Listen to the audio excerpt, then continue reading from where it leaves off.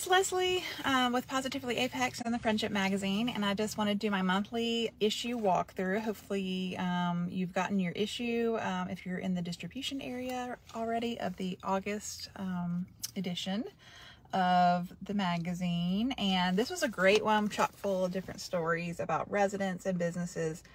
Um, a lot of my business partners do actually live in the area, so I get to kind of um, feature them on both ends of the spectrum.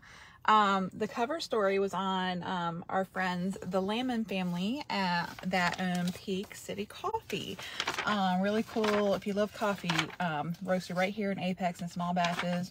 Really great coffee. So um, you can find the their story in here and learn more about them, and also see their ad for an offer um, and subscribe online or if it is found at some local shops.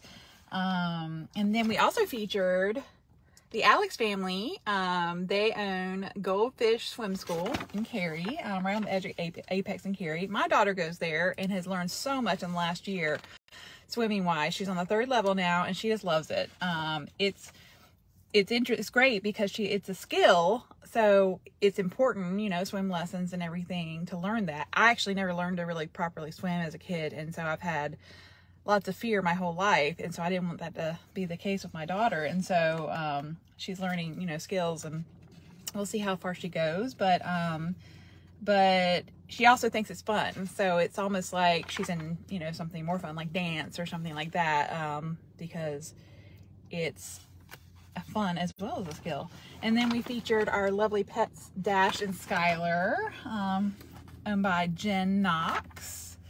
Um, and the Morgan family, they had their crawl space encapsulated and redone by one of our sponsors, Green Home Solutions. So that was a really cool story.